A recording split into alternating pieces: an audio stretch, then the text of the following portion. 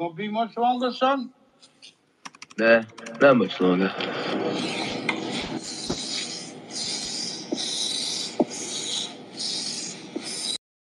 special.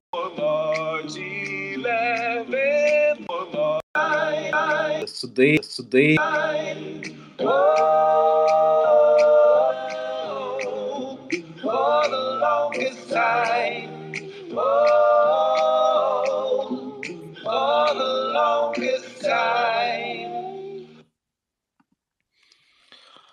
Hello, good evening, good morning, everybody. Welcome to the Synonym Spaces. Today I'm joined by three amazing speakers. So, first we have Synonym CEO John Carvalho.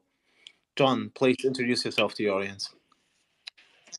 Hey everyone, thanks for coming. Uh, obviously, yes, I'm CEO at Synonym, and we're doing this spaces today because a big part of what we do as a company is also trying to fix the web, I guess you could say, and show how to use it in a more self-sovereign way by combining it with Bitcoin for a store of value. Fantastic. And in case you didn't know, Synonym is a Bitcoin company that's developing an ecosystem of software products and protocols for hyper Bitcoinization. So, our second and third speaker um, are Synonym's web specialists. So, first of all, we have Grokchain. Grokchain, please introduce yourself to the audience. Yeah, hi, uh, Grokchain on the Synonym side. Uh, been in software engineering for 20 odd years. I consider myself a bit of a digital anarchist, a lot into the free and open software movement, and also on the Bitcoin side, man, and hacking some cool stuff at Synonym. Fantastic. And then uh, we have Ar, but he will join a little bit later on, uh, who's also from the Synonym team. Today's topic is a web of lies. We'll discuss the past, the present, and the future of web technology and some of the misconceptions around the term like Web 3 or Web 5 is, and how Synonym is trying to improve the web with Slashtags. Okay, let's move into the questions for today. For for the first part, we're going to talk a little bit about Web 1 and Web 2, where it all came from, and so on. So I think the first one, we kind of start over with, with Grokchain. Um, how, in your opinion, did the web start? What were some of the ideals of what we now call the Web 1? Can you enlighten us a little bit? Yeah, sure, man. So perhaps not an opinion, more of a, a bit of a history lesson there. Uh, for uh, I've been in the website since about the mid '90s, um, and prior to that, you had uh, the likes of uh, Sir Tim Berners-Lee, uh, who was working at CERN. And one of his concerns at that stage is the internet had become quite prolific. and just to distinguish or disambiguate, uh, the internet is pretty much just a IP network uh, used for communication, and a very popular first application that took off on the internet back uh, back in those days was kind of uh, email. And uh, one of one of um, Tim's frustrations was the siloing of documents and, and being able to intershare that within the departments at CERN and kind of the universities and things that were part of the first version of the internet. so something he came up with uh, in the early 80s was something called ENQUIRE, which can kind of be considered uh, the birth of the internet. And there were also other competing protocols like the Gopher protocol, which were used for indexing documents across the web. Uh, but something Tim had realized at that stage is that there's no uniform or standard way for people to actually express content in a way. Uh, so he came up with the first draft of what we know as uh, the World Wide Web today, which is an overlay protocol on top of the internet. And that typically consists of uh, three, three important components. Uh, the first is uh, considering it's going to be a, a client server environment.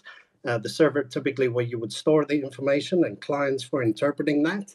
and he broke that down into saying, well, we need a, a, a conversation mechanism. So HTTP, which is the hypertext transfer protocol, was put into place. And then he also came up with a way in which you can express and, and visualize content. And, and that, as we know today, is HTML or the hypertext markup language. Uh, once you've got those two together, you can pretty much host these HTML files on servers and then also developing a client for interpreting or parsing these HTML files to give you a visual representation of the content. Uh, you also developed like the first uh, browser. Um, the next step you had there was obviously addressing and and finding the, uh, this content. And as we know, uh, with the IP uh, networking side of things, it's not too friendly to find content by using these long numbers, like typically in IPv4 or, or TCP/IP. Uh, you might want to address that server through an IP address. Uh, but then naming became important. So, for example, uh, today you'd go to google.com and you won't go to like 8.8.8. Uh, it's just much, much more difficult for people to interpret. Uh, so, he also came up with something called the UDI, which was a universal document identifier, but that has subsequently been moved into what we call URLs. Uh, and those are those friendly, like HTTP colon slash slash www dot uh, which, which was quite foreign at the time.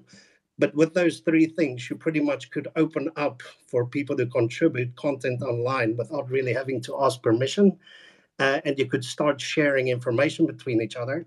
But a very important innovation in that stack is at the HTML side, which is the presentation layer. He came up with the concept of linking. Uh, so anyone in, uh, around the world could basically host one of these pages and share their ideas, but then they could also interlink to other ideas that were being shared across the web through uh, introducing a hyperlink into the page. And uh, fortunately, it was decided at the time that that would be opened up as a non proprietary contribution, more of a, a philanthropy um, from CERN's side in becoming open standards. So we don't really need to pay royalties or anything for using that. And that was really the the beginnings of uh, the first kind of web as we know it today. And, that's, um, I think, in hindsight, what everybody referred to as Web 1.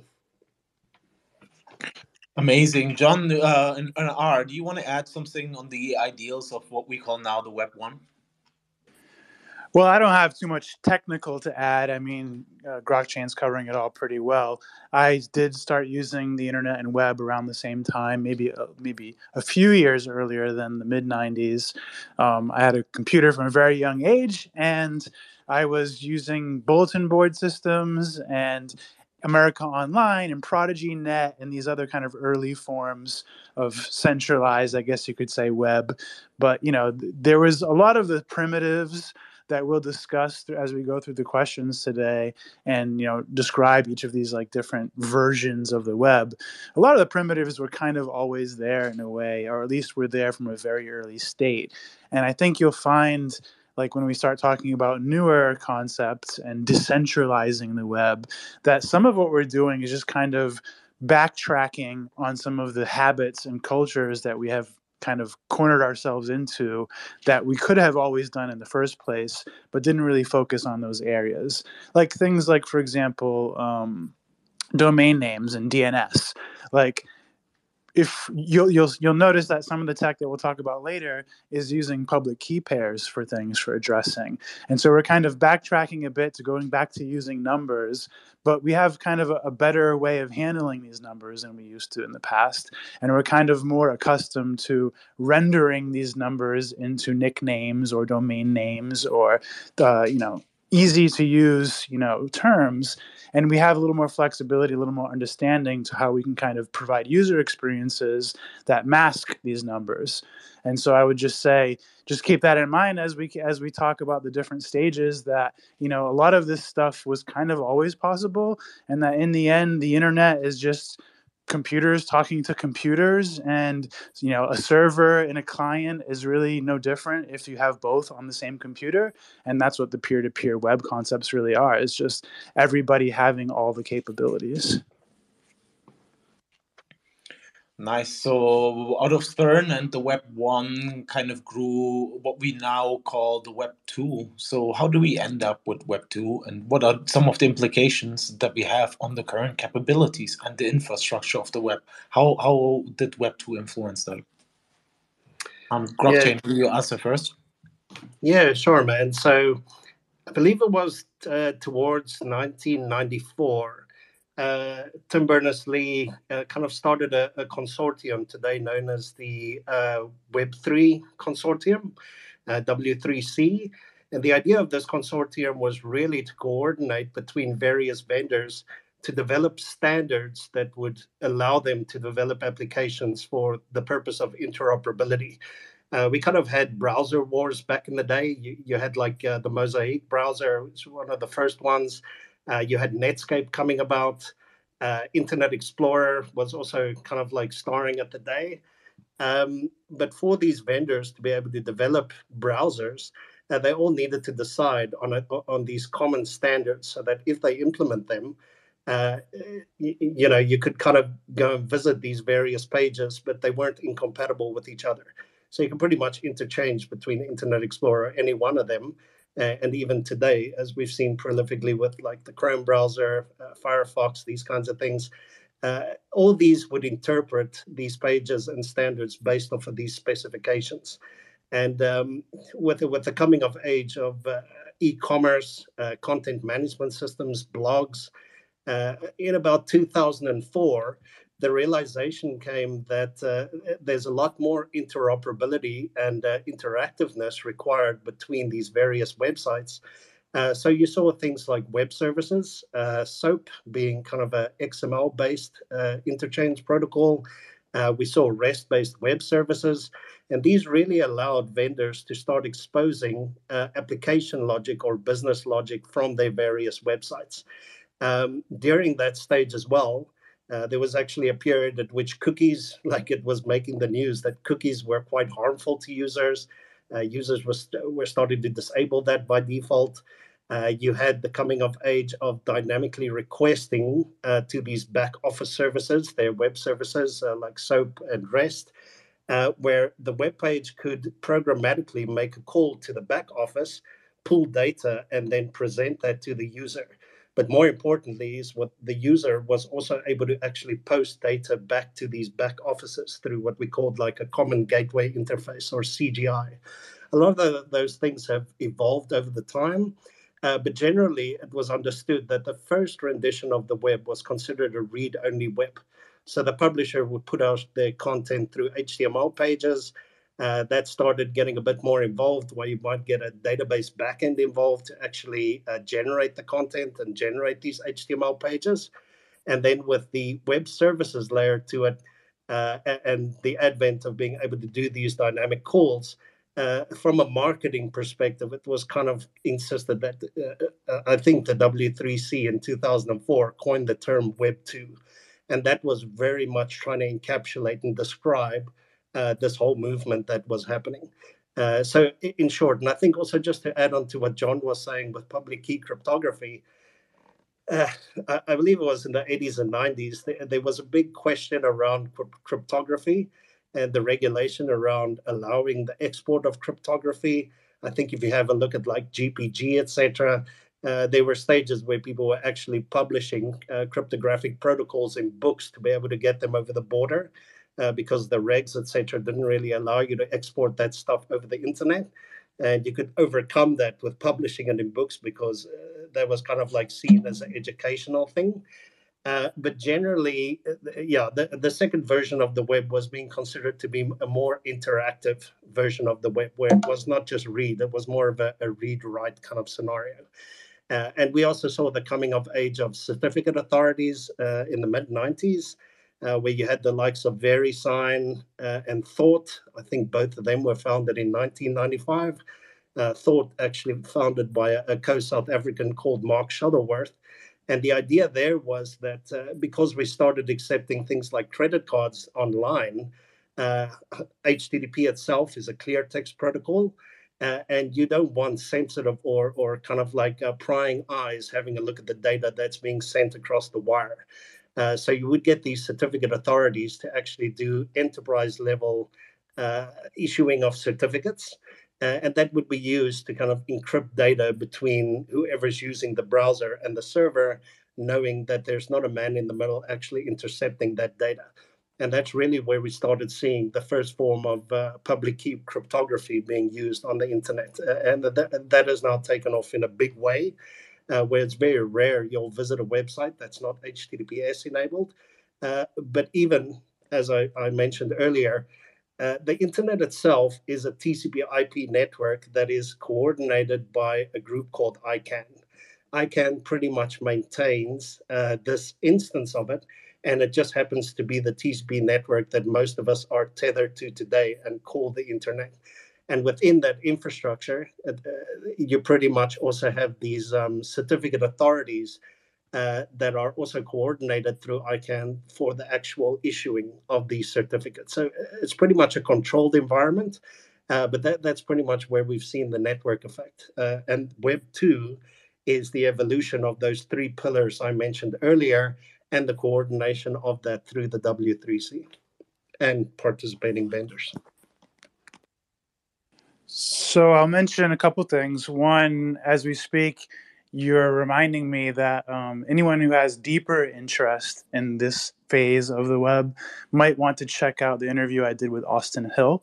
Um, Austin Hill was formerly the CEO at Blockstream when they first started, but he also had some really cool com- companies back in the, I believe, 90s and 2000s, um, where he was trying to pioneer using cryptography for communications and doing and, and, and providing like internet services to connect people to the internet and various you know products for doing things you know all in this vein of having more privacy and more security and you know other details. So i would say it's a really good interview. It's a really good like snapshot into the history of the web and cryptography in the early days and then transitioning into like the early days of bitcoin companies with blockstream so check that out if you guys are interested. It's at um, the website's uh, thebiz.pro if you want to listen to that.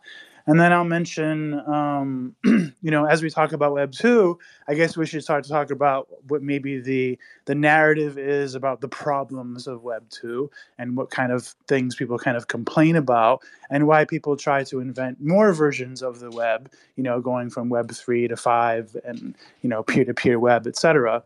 So as you have this read and write web and you have all this interoperability of how we're rendering this this content um, there was not much interoperation between the websites themselves and the user having some sort of portability for their identity or their accounts or their data. And so what you, you we ended up with is this kind of really severe walled garden culture.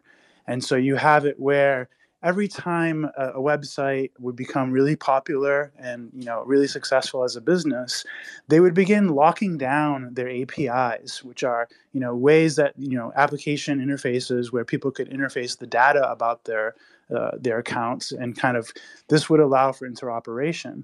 But you would find that like when twitter had something like say tweetdeck become really popular um, sorry, my watch is making noise. uh, they would start locking down APIs or just buy the company outright.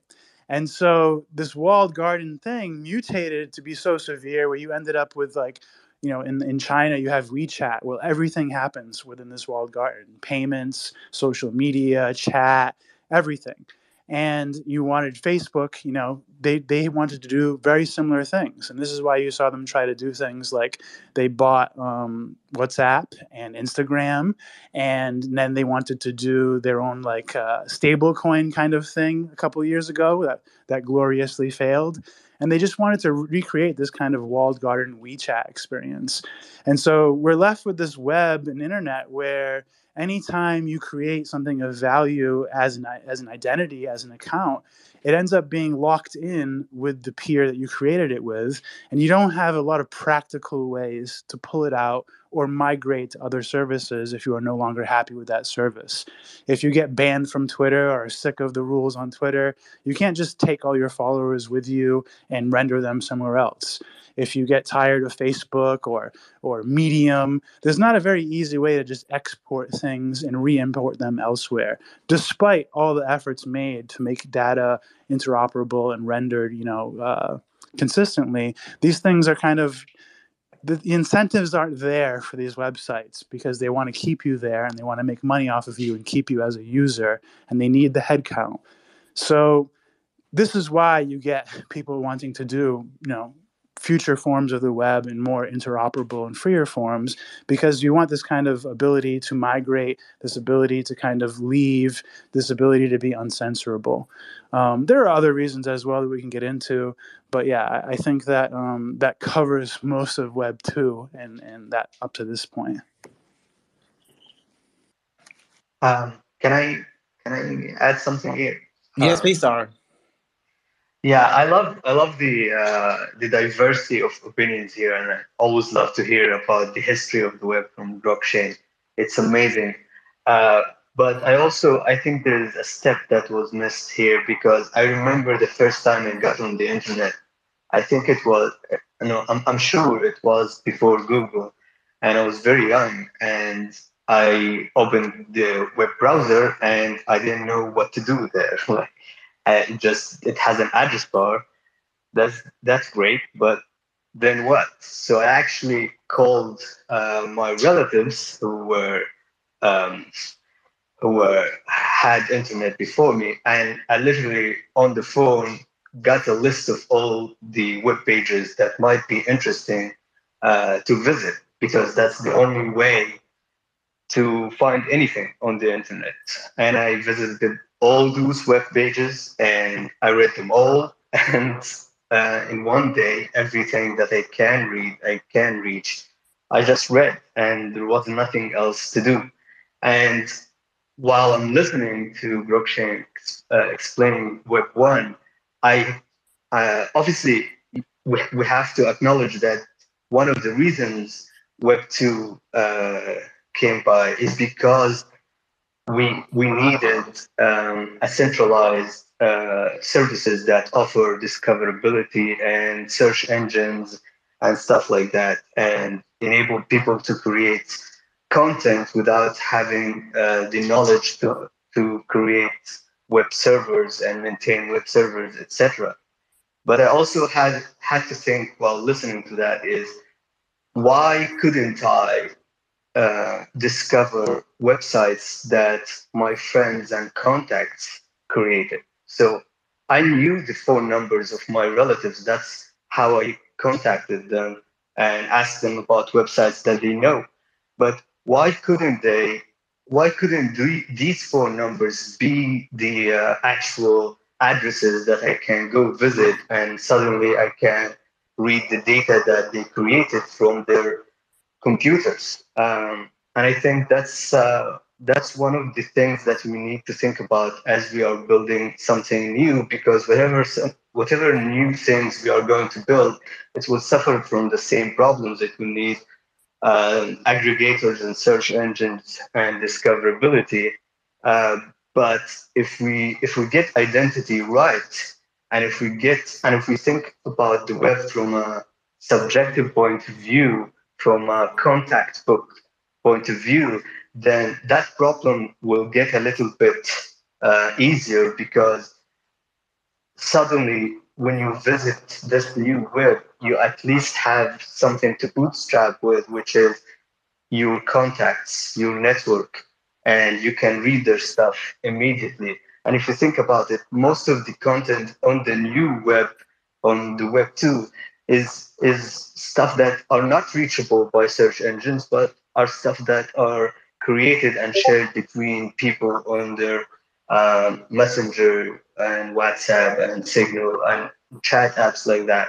Um, so I think that it's very valuable to think about the whatever new web we create from the point of view of networking and uh, subjectivity and the question is how to make it very easy and very convenient for people to create content without uh, going through the hassle of setting up a web server and getting a certificate and a domain name and rent that domain name and then lose it once you once they forget about it for a year, etc., etc. So yeah, that's what I was thinking about listening to all of that. Yeah, I'll maybe extend on that one. Obviously, talking about Web 1 and Web 2, and just in terms of standards, uh, something you've touched on, uh, which I think kind of like started showing some of the areas that wasn't necessarily thought of the direction the web would go, was the discovery of content online. And uh, I think for anyone who used the web back then, you kind of had uh, Alta Vista was one of the, the more prolific search engines at the time. But even predating them, you had like uh, uh, Yahoo, who would create online directory services, mostly for categorizing content. Uh, so you wouldn't typically search for something, Uh, but you would use kind of like an online lookup directory to be able to get to content. And, and this obviously was to serve that issue that you were having, but it was kind of like a word of mouth thing. And uh, the balkanization really started there, where these vendors started becoming funnels or gateways for people to be able to access the internet uh, or the web uh, not the internet. Sorry, um, and, and, I think uh, like like one of the good examples in the states might have been uh, AOL, who would provide internet access, a kind of like branded OEM version of Internet Explorer, I believe it was at the time. That's kind of branded with AOL stuff, but it would also have the default homepage to be AOL's website. Uh, and there was kind of a battle happening for people to have the go-to directory service. Uh, and then Alta Vista, those ones came around, which made search uh, a lot easier uh, for people to not have to actually host their own infrastructure. You had the likes of GeoCities coming about. GeoCities allowed you just to like put together a simple website and host it. And it's one of the tr- internet treasure troves or web treasure troves that we know of that that kind of uh, dissipated after a while. There's a lot of information that was lost in that. Uh, but during that, the advent of Google uh, also came along, which obviously obsoleted a lot of these other search engines and directories due to their page uh, rank algorithm that they were using in the background. Uh, but now we started seeing users uh, kind of instead of being incentivized to host your own HTTP server because the technology, let's face it, it is distributed by design everyone is really encouraged in its design to host their own HTTP site. Uh, but, but it starts becoming a bit impractical in scaling that when you start uh, wanting to look for information. Uh, so now you have these corporations that provide these services, and they essentially would actually scale that out to be able to deal with the demand because we, we started really seeing uh, the web's version of the attention economy. And that is where you've got to attract a lot of attention to the services you provide, but that has its cons in it because now you start with tracking and privacy concerns, uh, as well as uh, dictating and having a bit more weight in establishing what these next specs and standards might be because you just get that network effect. And we, we saw the similar thing with the internet browsers. Uh, Microsoft, I think, was even part of the antitrust lawsuits uh, because their operating system, Windows at the time, uh, also would promote Internet Explorer. So you had this concern that one software vendor uh, controlled all that attention, and because they ran the web browser, uh, the idea was that Microsoft is actually trying to own the web as well. Uh, but fortunately, in the proprietary versus free and open software movement, we saw the the coming of age of uh, like the Mozilla side on the Netscape side, subsequently Mozilla, um, and people just started favoring a lot of these uh, alternatives. But we, we still saw balkanization, and it's even just gotten worse to today. Uh, through search engines, social media networks, etc., which which I guess gets us to uh, the Web three portion that we'll speak to. I, am curious to, to ask a, question. You mentioned that the first um, resource identifiers were called uh, UDI, uh, Universal Document Identifier. Do, are you familiar of any uh, early attempts to make um, like something that you can call human identifiers or a way to make contacts on the internet at the base layer? or wasn't that thought of at all? Like, did anyone think of using phone numbers, for example, on the internet, something like that? Yeah, not, nothing coming to mind. I, I would definitely say, um, I'll touch on the Web three thing a bit. As recent uh, as just a couple of years ago, um, uh, I mean, they, they've been these proposals from the W3C, uh, I think, to to actually identify that that identity has become an issue that is being gatekept and held by a lot of these vendors. So that's only really something I've seen within the last couple of years become a thing, but uh, definitely not to my recollection has been something that was part of the initial design of the web. I'm going to guess that IP addresses and email were solving a, a, spectrum, a portion of the spectrum there, and so maybe it wasn't addressed. But I'm just speculating. I, I know there was obviously the ability to have, you know, uh, a way to email people and a way to find a server through IP at some stage, but I don't really know too much about the details, so I, I won't wax any more on that. Um, Alex, uh, sorry, uh, Ar, you made me think of. Um, that uh, I definitely agree that um, that having ways to find data and not you know uh, not having to rely on a central aggregator is part of the problem why we ended up with a web 2 that we're not necessarily totally happy with and this you know led to these walled garden phenomena and so I, I, do think that obviously we agree because we are working on the same projects, but um, I do think it is an important thing to try to think about how to have subjectivity within the design. And so that way you can be able to find things that are more related to you, I guess relativity as well. Um, and to be able to kind of bootstrap your own sort of personal view of the web. And then uh, GrokChain, you mentioned, you know, a couple of things I thought of as well. I'll try to be quick, but you know, there's the other problems that people have with Web 2 uh, that I didn't mention earlier is the kind of dynamic between the ad subsidized web of advertising and the privacy that leakage of you know your personal data that comes with that. And so basically monetizing the user in order to have many of the websites be free and many of the services not be monetized and kind of have this this removal of friction. So then the user ends up getting you know being the product and monetize and thus all of their data gets tracked and all the data is collected and aggregated and this is all happening in the background without users knowing too much about what's going on and not actually being involved in any of the profits either. They're just basically getting to use most of the web for free.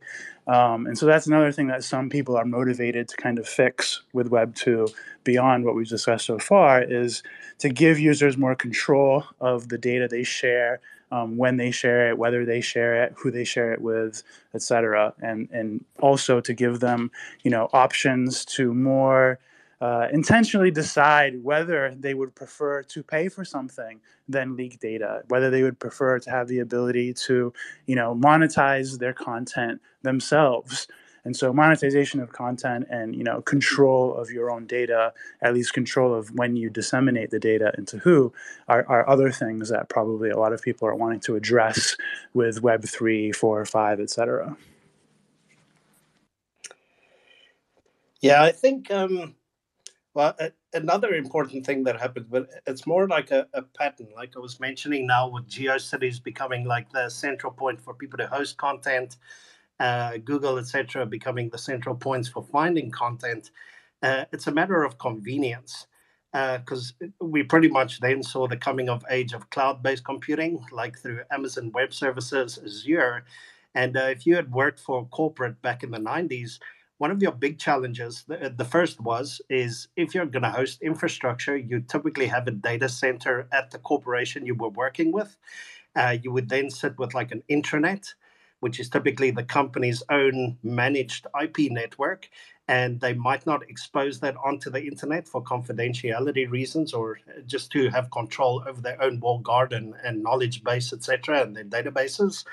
And then they might expose a version of that out onto the web, which was called the extranet and that was the portion through which you typically have a net a part of your network segmented in even what they call the, a demilitarized zone uh, where you would expose your internet facing uh, services like your corporate website uh, or your e-commerce uh, site, etc. Uh, but the overhead in actually having the skills in-house to manage that was obviously a concern for the company because it, it might not have been its primary objective at the time. And then also imagine having to serve an influx of users to these websites on like a dial-up modem. Um, so it, it, just became very impractical for you to do that. And when these cloud services, etc., well, before the cloud services happened, you, you might approach one of your, your local telecom companies uh, and you might co-host or co-locate a server on their premises. They'd have data centers where you can go and put down a box, and they would actually take care of the infrastructure management. Uh, there might be a VPN configured to that box that you have to your local corporate network that you can manage. Um, but still, the maintenance would need to be actually funded by the corporation. And if you start having a look at an individual wanting to do that, um, one of the issues I know uh, here in South Africa, I'm not too familiar with how it was abroad, but your ISP would typically issue you an IP to be able to access the internet. And within the IPv4 or TCP IP stack, like the, the con- conventional IPv4 uh, spec, you pretty much are limited to four and a quarter billion addresses worldwide. That, that's pretty much what everyone gets allocated to access the, the internet today. Um, so if you, uh, uh, when you wanted to host a website, you could only host one website on an IP address, uh, and that's where IPv6 as a spec actually became quite an important thing to push because we could extend that address space quite significantly. But one modification was made to HTTP 1 at the time, uh, which subsequently became HTTP 1.1 and that was able to add like this host entry into the http protocol that would allow you to actually host multiple websites on one ip so there was a scalability concern at the time but a lot of this technical stuff had to be taken care of by the individuals working at like these corporates or etc and uh, eventually a, a, lot of the telecoms uh, the aws's etc of the world realized that this is a pain that everyone is having to endure because Amazon themselves, like AWS, came as a product offering out of their internal struggles with actually managing infrastructure and keeping Amazon's like retail website online. And they figured because this is such a prolific problem everyone's having, uh, what if they abstract it into a product suite and then sell that onto corporates. And because that just became so attractive, uh, you, you eventually started seeing the balkanization and people getting attracted to adopting that level of centralization uh, for convenience. Um, so it, it's kind of irrespective of where you touch this thing from which facet, it's always a convenience factor that draws us towards the centralization. Because, like I say, the, the web itself is actually decentralized or distributed in nature. Nothing prevents you from hosting your own web server. The question comes into can you uh, actually manage the traffic? And then, yeah, the, the point I had on, on South Africa was we would be di- uh, assigned a dynamic address every time we connected to the internet. So whenever you had the translation from a friendly name like uh, grokchain.co.za, I would have to constantly change the record to point to the new IP address of the IP I get assigned by my ISP. Uh, if you wanted a more enterprise level c- connection because of that four and a quarter billion address like allocation, uh, it, is quite a scarce resource on the ICANN network um, you you'd have to pay premium dollar to actually get a static IP through which you can then have this fixed label point to it. And that's also something that a lot of these other providers have, have just simplified for us along the way.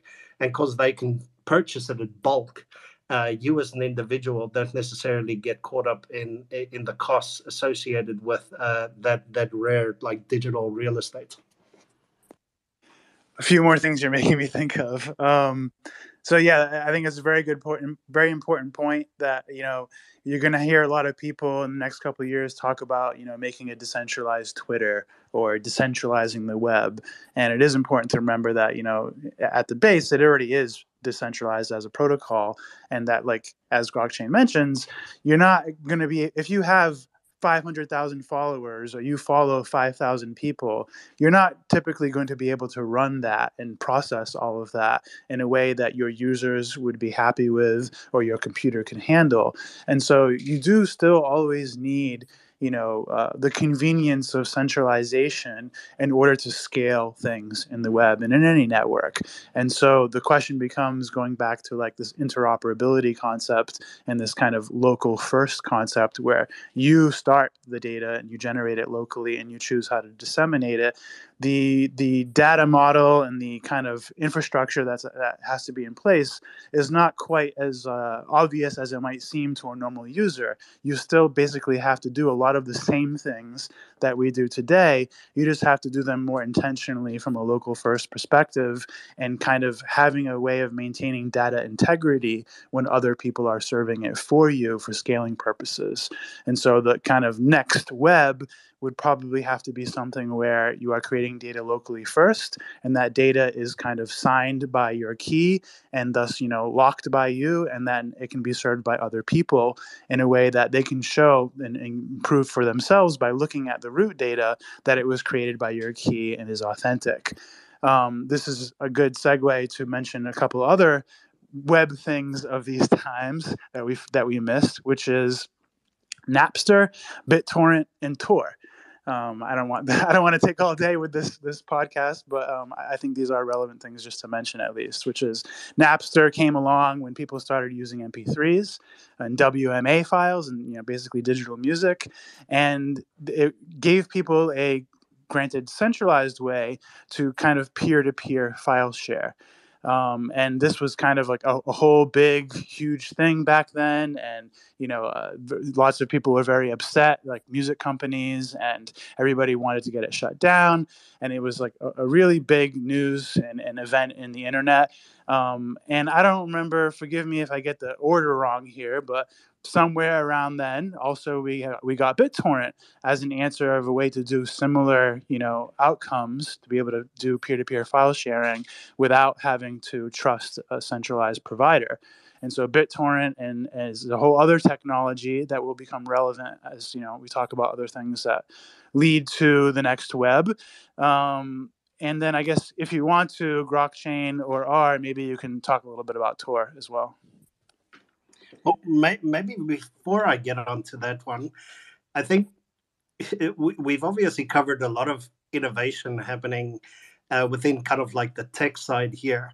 Uh, but an important one that you brought up is Napster as an example. And I think following the Napster incident, we started really, well, well even prior to Napster, uh, I recall there was an, an, issue. I don't remember the exact date, um, but I believe it was a French, the French government, I think it was, uh, that contacted Yahoo in California once upon a time, asking them why it is that their citizens are being provided with a way to purchase Nazi memorabilia. And this was kind of like the awareness then that nationalization has created these borders, but the internet itself does not have these borders.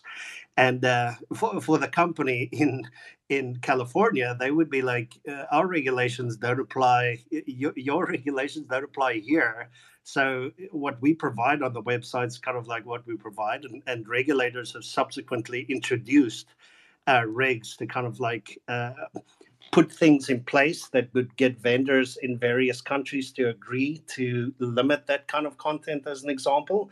Uh, but something that came out of the Napster side was the Digital Millennium Copyright Act.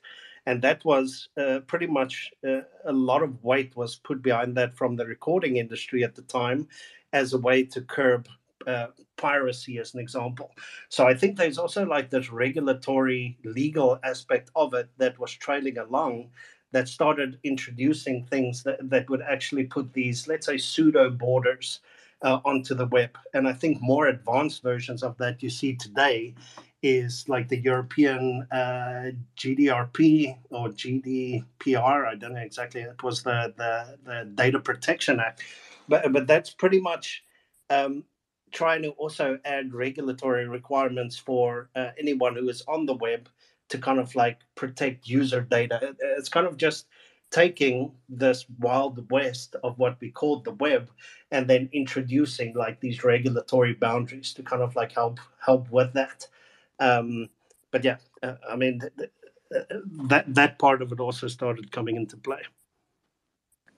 Well, then I just did a quick summary of Tor. It's it's basically what people refer to as like the dark web, and it's just an alternative way of forming a website network that doesn't use the same, you know, ICANN domain name registration aspect, and it uses a sort of more encrypted routing method for contacting peers and serving websites. and this is where you know things like Silk Road lived and similar websites since then. But I'm not an expert in this, so I don't really want to talk too much about it. It's just worth noting that that we have already had alternative webs. I just want to say that uh, that just like Grokchain said, whatever like whatever web you are going to create again, if you start from scratch, you will you will also get to the point where you need uh, the convenience of uh, a big company running and hosting your data for availability. You will need search engines. You will need all that infrastructure for scale. So I don't think that uh, the failure in in Web 2.0 is about centralization per se, uh, but it's more about that there is no identity that you control on your own.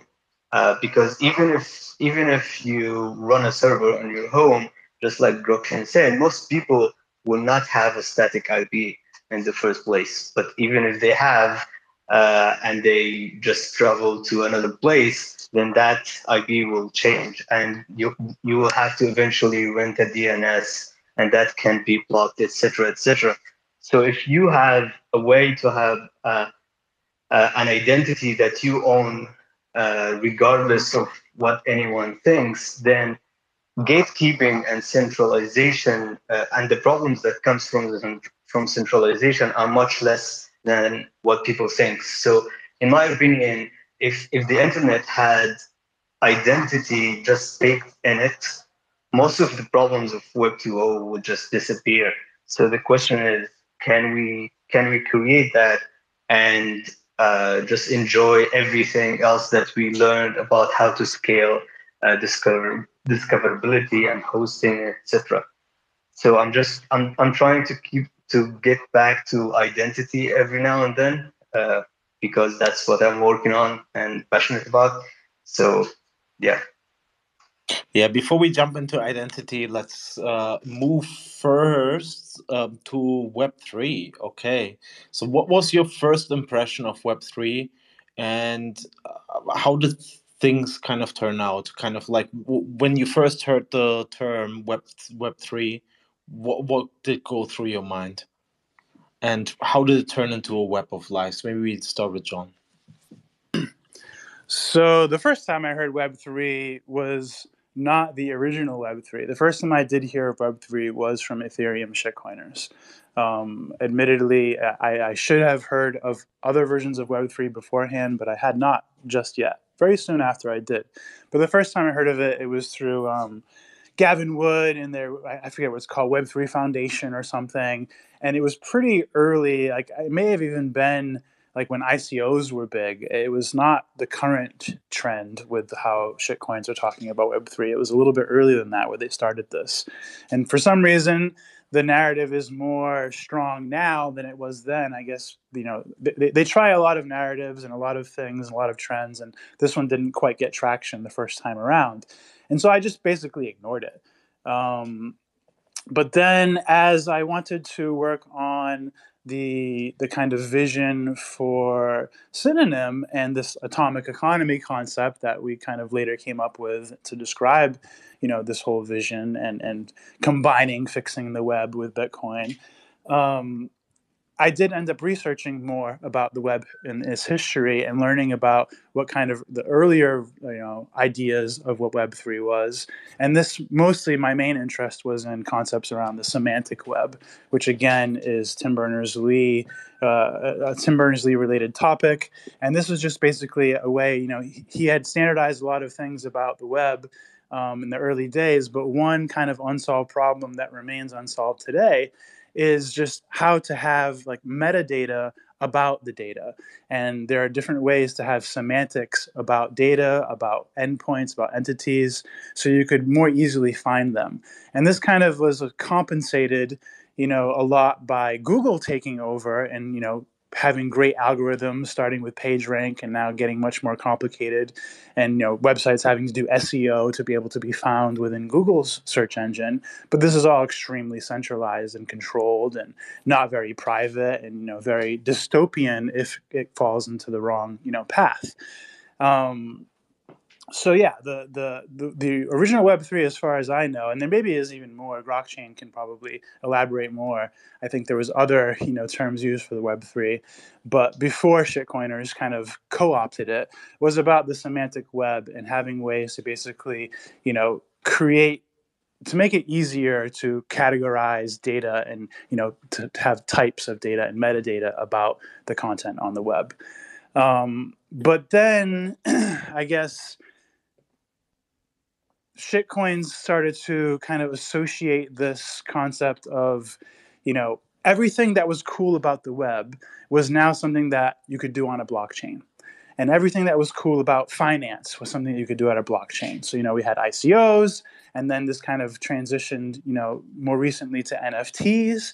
And NFTs were kind of like this combination between an ICO um, oh, I skipped over DeFi. Sorry, but you know who cares? Um, it's not really relevant at the moment. Um, but the NFTs were kind of a way of being in between a token and a, a token scams and Ponzi schemes, and in between like identity and having you know key pairs represent some sort of endpoint.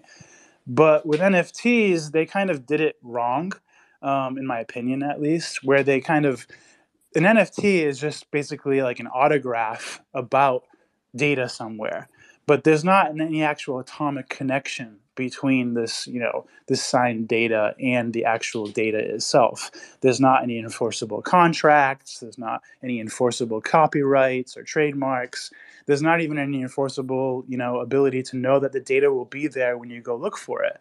And so, shitcoins have tried to kind of co-opt the web3 original web3 concept totally throw it out the window. It has nothing to do with semantics and kind of just make it about a url to data on some other data system typically ipfs and, and, and shitcoin examples.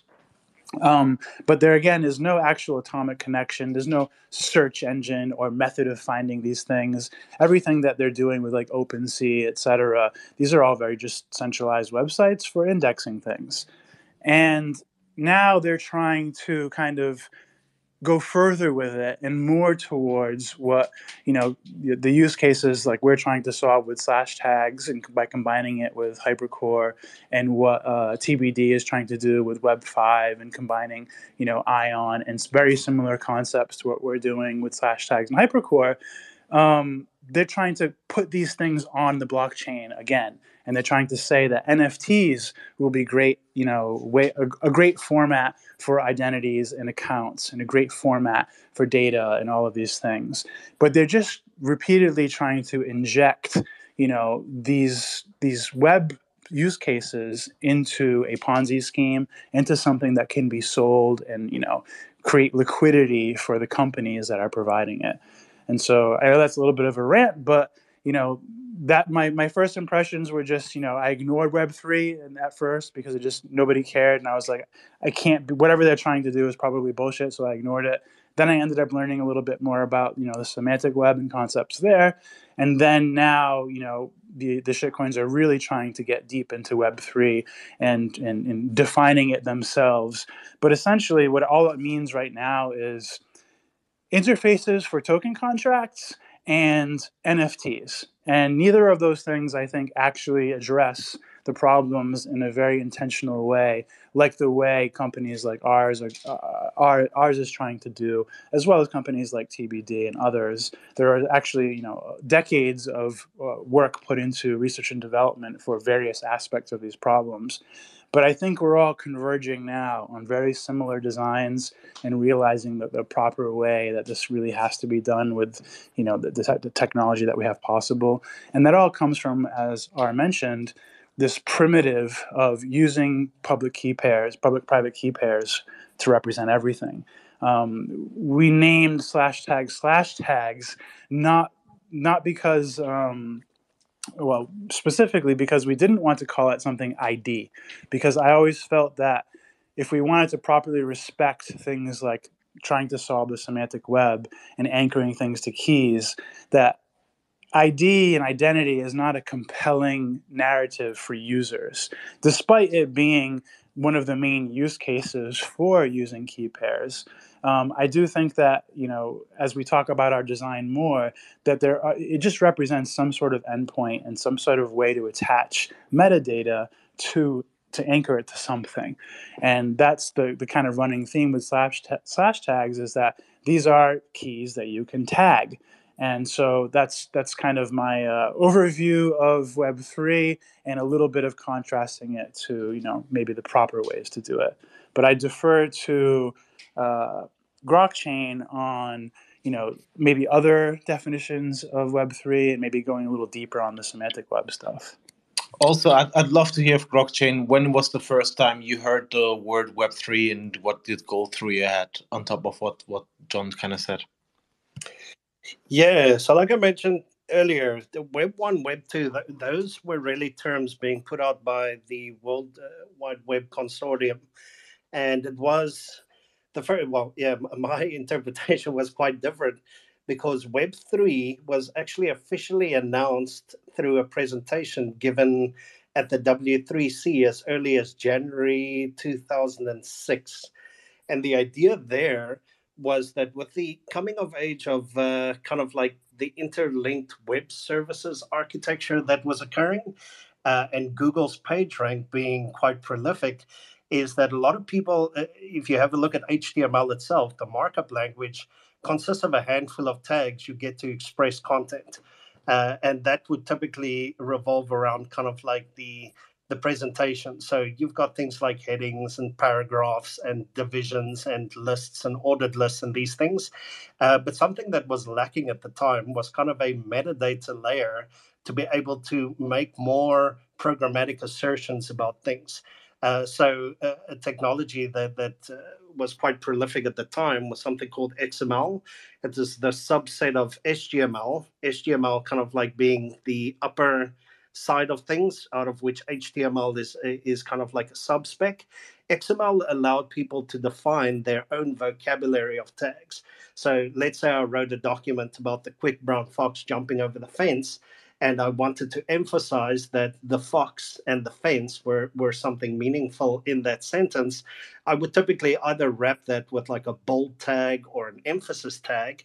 Uh, but for anything that had to interpret that document, and could not really distinguish or uh, uh, determine why it is that you were emphasizing something in the document. Uh, so the idea was that if we add a semantic flavor to that, meaning we can rather use tags that define meaning to what we were doing, that we could write programs to actually interpret these documents and then use the styling to represent a difference. So, using the same sentence, the quick brown fox, I could actually put a tag around brown saying that it was a color. I could put a tag around fox saying that it was an animal, and I could uh, put around fence saying like it's some form of object. And then I could also start defining kind of like these uh, ontologies for expressing what the relationship between these things are. And you ended up with like the concept of the resource description framework was one initiative being pushed forward by the W3C. And you also had a, a separate working group that was working on something called topic maps. And the concept there was you would deal with any any content you were busy developing would be a, a topic uh, it would have associations between these topics, and then there would be occurrences of these topics on the web. So I could actually develop this metadata framework, uh, and then you'd write search engines to rather interpret the metadata layer to make more viable like assertions uh, instead of indexing the content itself. Uh, but the tech at the time, I mean, it was very complicated to work with. It's actually interesting. I think one of the slides uh, had a section on crypto, which, as we know today, uh, requires some disambiguation. And a simple example I use is whenever you go to a friend's house today, uh, they might ask uh, you might ask them for the Wi-Fi password, and we know what that means is the user would like access to the internet. But any technical person would know that by having access to Wi Fi, you pretty much just get access to the local area, like the TCP network of the individual uh, on which the router or the Wi Fi access point has been exposed. And assuming typically there is an internet gateway on that network, you'll be able to connect to the Wi Fi network and have this breakout point onto the internet. Um, Now, in a very similar way, that presentation that was given by the World Wide Web Consortium had a section on crypto, but crypto in terms of cryptography, which is essentially, I mean, that, that's kind of like what it's referred to. And uh, getting to the later point, like John says, uh, with um, the guys, it's kind of like the co opting of the brand occurred around about 2014, 2015. Uh, by the likes of like the the Web3 Foundation to kind of like get the direction or attention of a lot of individuals in this hype, uh, which was almost like a decade later, to get focused on the projects that they were working on, which pretty much had nothing to do with content, uh, but more to do with this advent of digital scarcity. Uh, but the original Web3 to me is what is called the semantic web. It has got nothing to do with what people refer to it as today.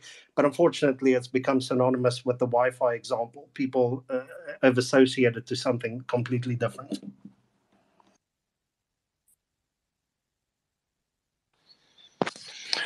All right. Um, so, is there actually kind of, we talked about Web3, is there Web 4 that we can talk about? Or or do you think kind of concepts like the semantic web or the internet of things how some people call web 4 are kind of dead and never succeeded uh, maybe with Grokchain you want to take that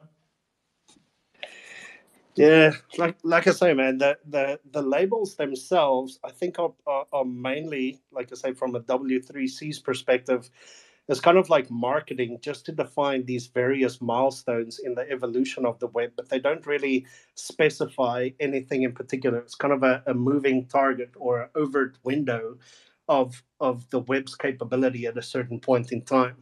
Um, as far as like Web four, Web five, like unless it comes from the W3C, I typically kind of ignore it. Uh, but I haven't really seen them mention anything about Web four, if I can call it that. Uh, and I think the latest has been Web 5, more from, I think it's Spiral, correct me if I'm wrong, John. Uh, but I think that's also just a tongue in cheek way of actually taking advantage of this narrative where people are using increments of web versions uh, to draw attention to something that they're doing because that just seems to be, it's more of a marketing thing. Yeah, I, would say, to my knowledge, there is no Web four, and the the jump kind of was by Web five. You know, I, I can't speak for them, but I would just say they they wanted to kind of play a little bit off of the concept of naming like when web when ethereum used web 3 and kind of tried to co-opt it that what they were basically doing was taking advantage of this convention. They're saying, okay, people have you know dealt with HTML4, HTML5, then they have Web 1, Web 2, and this, these kind of things became accepted, and they kind of laid the groundwork early for co-opting Web 3. So it became very easy for them to just kind of define their web and their you know product ecosystem as the next web in an authoritative way by naming it Web 3 and this is just kind of it's it's a it's a gimmick it's a narrative it's a trick. Um, and so i think that what tbd is doing not they're not spiral they're tbd by the way Grokchain. Um, you know but they are kind of sister entities or projects or companies. I'm not sure the technicals behind it but they are all coming from block. Um, but TBD is focused on this work, and I and you know them naming their ecosystem and their kind of design for the next web um, is is is not scammy in the same way that web3 is but it is kind of a similar trick. It's basically using this naming convention but in a tongue-in-cheek kind of way against the the the co-opted Web three to say we're just going to skip all we're going to skip Web four and we're Web five, and if we're going to play this numbering game, we're going to be even bigger number. You know, um, I'm sure they had more thinking in different ways that they would put it, but that's the impression you know for myself and probably for other people that they're just trying to like literally one up Web three um, and and skip a whole version and say we're beyond Web three but in the end none of these things are actual you know standards and actual you know uh, specs that are you know common and accepted by the majority, they're proposals, and they're proposals for either new webs or new ecosystems, or you know, add or additional features for the current ones. And so, I think it's important to keep in mind that there is no official Web three or, or, or that has actually gone anywhere, and it's certainly not the Web three as defined by shitcoiners.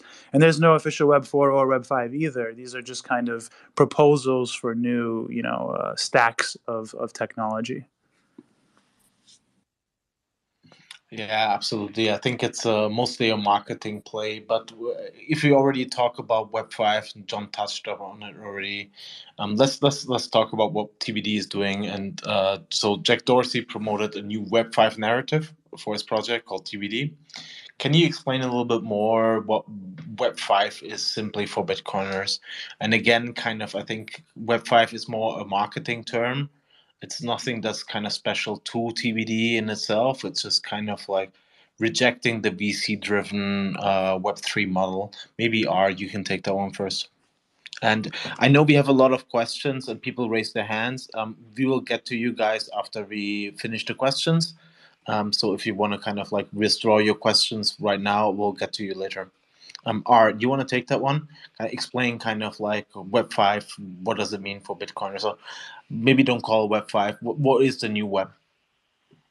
Yeah, I just want to point out uh, that uh, if something is from W3C or any other standard uh, body, doesn't make it any uh, any official or any more uh, like uh, any more reliable or possible to take off or get them adopted because as you as you listened the w, the, the web 3.0 the semantic web really didn't go anywhere.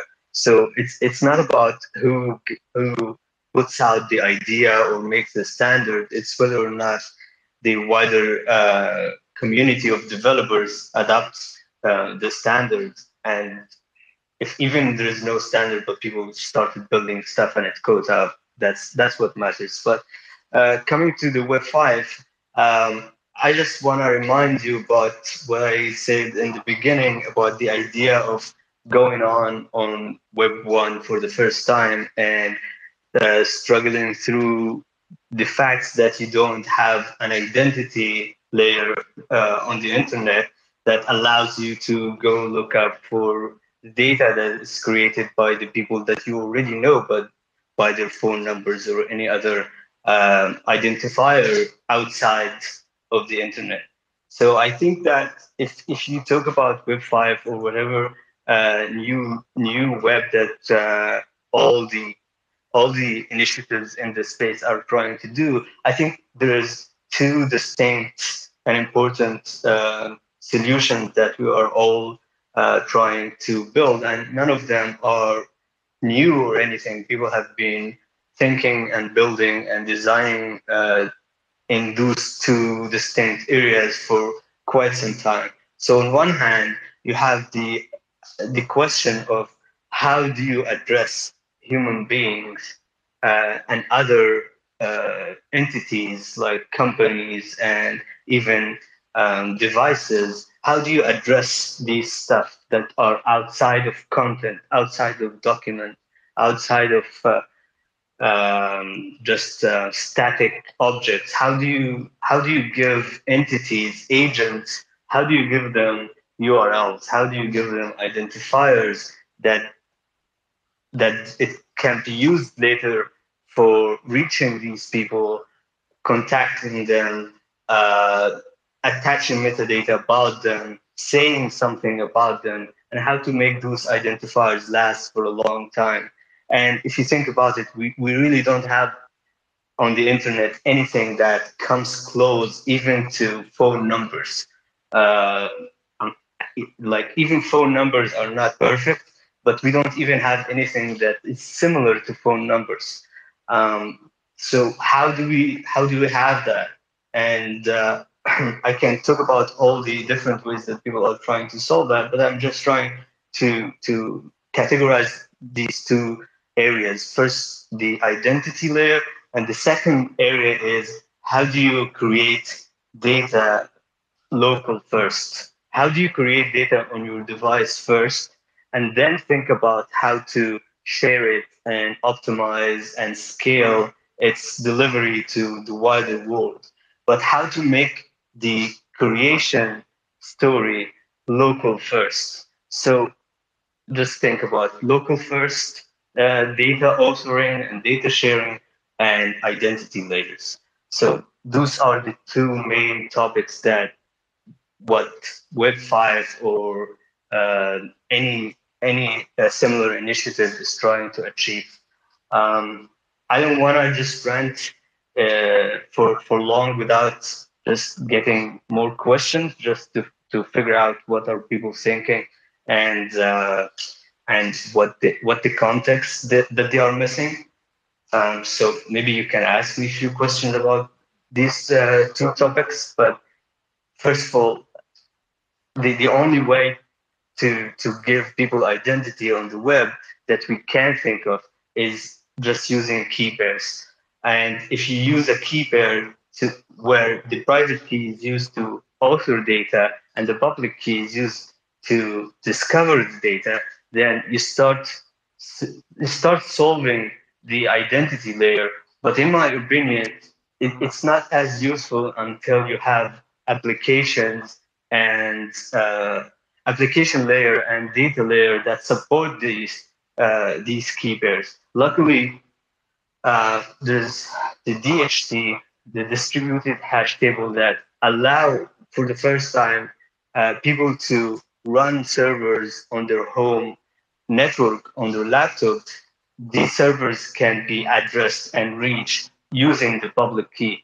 So that's something that I'm very excited about because it's very unlike uh, a domain name system.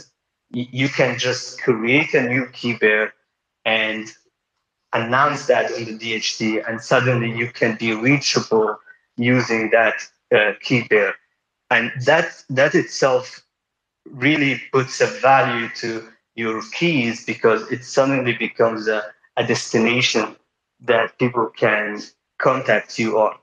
But but they can also but they can but using also other primitives like hypercores, which is think about it as a blockchain that only you edit and doesn't have a consensus layer or anything. It just people just trust you to edit it then using the distributed hash table and the this hypercore primitive, you can uh, other peers other than you can share the same data that is addressed by your public key, even if you are offline. This is what what gives you what gives the key pair really its its value because I can I can ask question to my network about a specific public key and find the metadata that it, it attached to it. So I can reach to my my distributed hash table and ask who has the public uh, hypercore or the public data, public metadata that is attached to a specific key pair.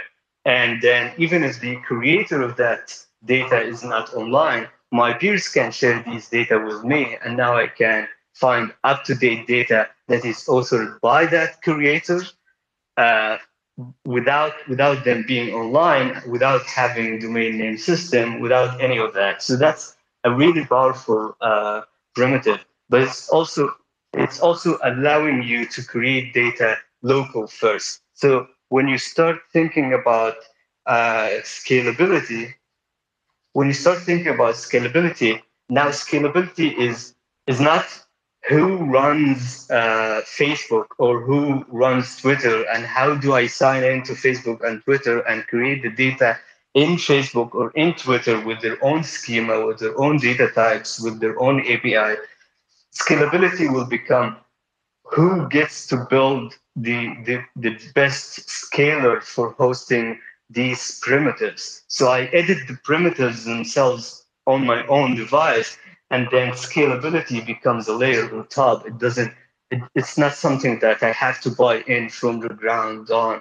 So if I don't like this service provider that is keeping my data uh, public and keeping my data available and keeping my data available 24/7 and uh, hosting it for a, a bigger scale, I can just put my data in another service service provider, and because my data is addressed using my public key, all my followers, all my friends, all my contacts will find this same data using my public key. And suddenly you, you don't have any lock in, you don't have gatekeeping, you don't have censorship because it doesn't matter if you stop seeding my data if you, if, if, as a company as long as people can discover where the new place where i'm seeding the data in um, obviously there are other uh, primitives that uh, that can be layered on top of that to create what eventually we want in Synonym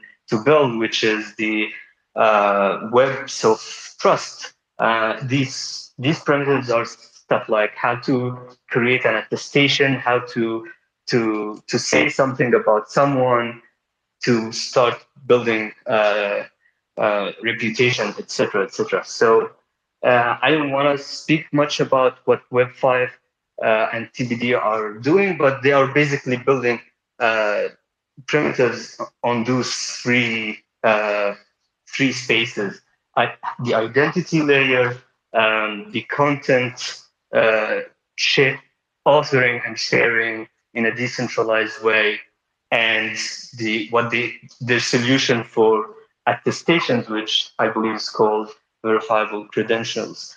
Um, I I talked so long, so I, I will I will wait for any more questions about any of these parts. Yeah, Ar, I, I might just want to expand on that one. I think your your phone number analogy is quite an interesting one because uh, just to draw analogies between what we know as a phone directory today versus the internet, the internet being a public IP network managed or coordinated through ICANN with the 4 billion odd uh, IPv4 addresses that are allocated through ISPs, etc., to you, the end user, is obviously coordinated and it is quite permissioned.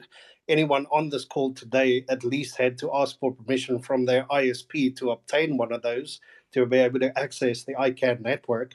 Uh, but because there are so many options, you can typically circumvent that one of the ISPs is going to let you on there. Uh, but we have a very similar pattern that happened within the phone numbers as well, right? Uh, because you've got like uh, what is it, uh, NANP, which is the North American Numbering Plan, as an example, is there is a authority that kind of coordinates the allocation of uh, the space of numbers for actual uh, like that addressing portion. So if we distinguish that the network allocation is obviously one area that needs to be have a, had a look at, uh, the domain name system is kind of a layer on top of that uh, on the internet side for uh, translating those names into numbers. And the irony of it is that with the advent of certificate authorities, most websites actually do use public key encryption uh, to serve data over the web and can be found by the public key that is actually presented on that server. So you could essentially write a separate registry that does find these websites based on their public keys but very similar to phone numbers or IP addresses, is they're not typically user experience. The, the, the user experience is not friendly because remembering the number versus remembering the name is obviously the name makes it much easier. So we don't have a DNS based system for phone numbers, as an example, unless you you go and uh, type it into your address book. And then we had aggregators, I think like Truecaller. I don't know if that's quite prolific where, uh, for anyone on the call. I imagine it is.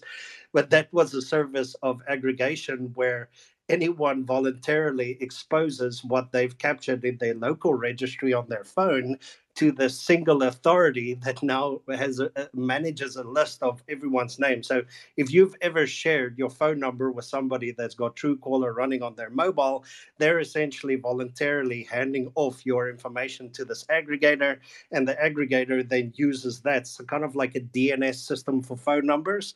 Uh, that if you receive a call, it'll typically show you the name because it found that out of five or six of uh, your fellow contacts address books and that that's kind of like how they deal with dns um, but yeah, the, the public key cryptography side is you could essentially also do a registry for that, but nobody's going to remember to type in a public key. So you still need that friendly identifier.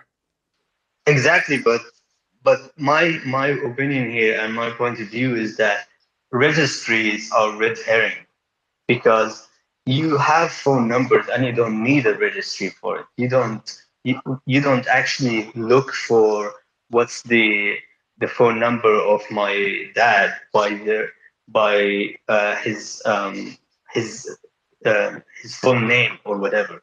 You just add in the, the phone number in your device and you trust the application layer to just give you a subjective name that you author to that phone and you just go from there. And similar actually experience you will find even in, in, in applications that have human readable identifiers. For example, whenever I want to to mention uh, John, I don't I don't remember every time to write at Bitcoin error log. I just write at and then start writing John, and I trust that Twitter go- going to give me uh, an autocomplete that knows how to correlate John with uh, Bitcoin error log. So that's basically the, the subjective uh, point of view to identity that I, I believe in and I'm working on uh, with Slashtags. So the point is, if I have a public key and I know your public key and I have your public key in my uh, contact book and I name that public key Grokchain, then I don't need a DNS. I don't need uh, a central registry. And the question is, why can't you start publishing data uh, that is discoverable using that public key? There's no need for uh, DNS there. There's no need for a certificate authority. I am the authority. I know your key and I trust your key because I, I talked to you in person and I added that key from talking to you. And my contact book should be the authority. And uh, the more we, we embrace that, the more we, we realize that uh, we don't need registries and we don't need human uh, readable identifiers that are also global. Let's just have human readable identifiers that are uh, local and subjective. And uh, obviously, the problem that you mentioned with Truecaller uh, can't be solved uh, in any way because if I took your public key and then shared it with an aggregator, uh, with the name that I use for you, then that aggregator can make it public. But the question is, why would I share it with the aggregator? Because I don't need a, a centralized registry, I wouldn't share it with, with an aggregator. So I think if we think about identity from that subjective point of view, we win both having a having real identity for for users and not just people who are willing to run uh, web servers and go get a, a certificate uh, for their uh, HTTPS. Uh, but also, we enable people to discover each other's um, content using their context contact book, or in our case, the contacts that they are associated with in, in their Slashtags. So yeah, uh, so I think that I definitely agree with you, Ar, and I, obviously that's why we're making the things we're making. Um, and I think not only our registries are red herring, but I also think that nicknames are a red herring. Um, in that, like, there's been a lot of focus on you know domain names and searchable names and being able to find something by its name and everything looking nice to the user um, and even like you can see this for example with there's been a little bit of traction with things like lightning address um, and these are all kind of ways to emulate this culture of of names but in practice most people aren't really remembering or typing or you know, relying on these names much. Maybe the first time, but even then, like everything is very hyperlinked right now. And I don't mean I mean that both literally and figuratively. And so you have like these auto completes and these, you know, these systems that are within applications that are already making these associations for you. And you have these capabilities to automatically render these things into the names that you are used to seeing.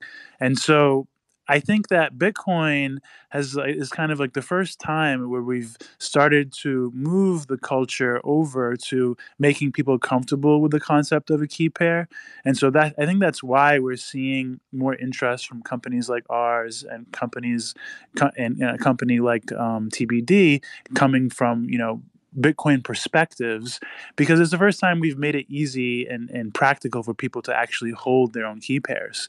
And this is something that, you know, predecessors before Bitcoin really failed at. You know, PGP, GPG, um, just the capability of using encryption keys. Even if your own email, people do, people have this capability in email clients, and they mostly don't use it um, to encrypt their email with a key. And so now we have this capability to kind of anchor everything to keys if we cre- if we combine it with the user experience of Bitcoin and holding your keys for your for your money, you can now also hold your keys for your accounts, your contacts, your your data, you know, your your files, just your, your backups, whatever. Everything can be associated with keys now if we if we combine it with the same user experience as for holding your keys for Bitcoin. And that's basically the perspective we're trying to do.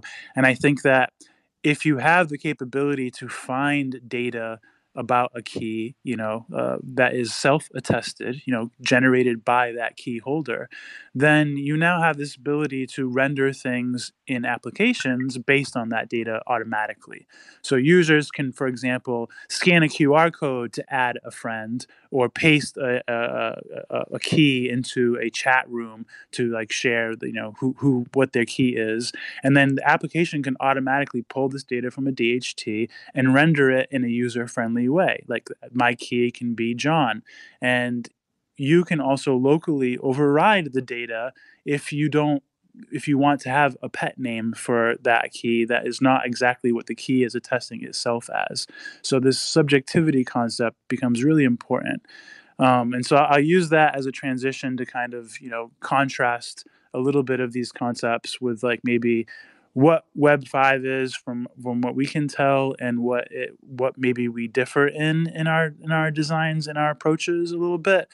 I would say first of all, we mostly overlap. What what what TBD is trying to do and the kind of structure of the, the pillars of their design are very very similar to the to how we imagine things should be done as well.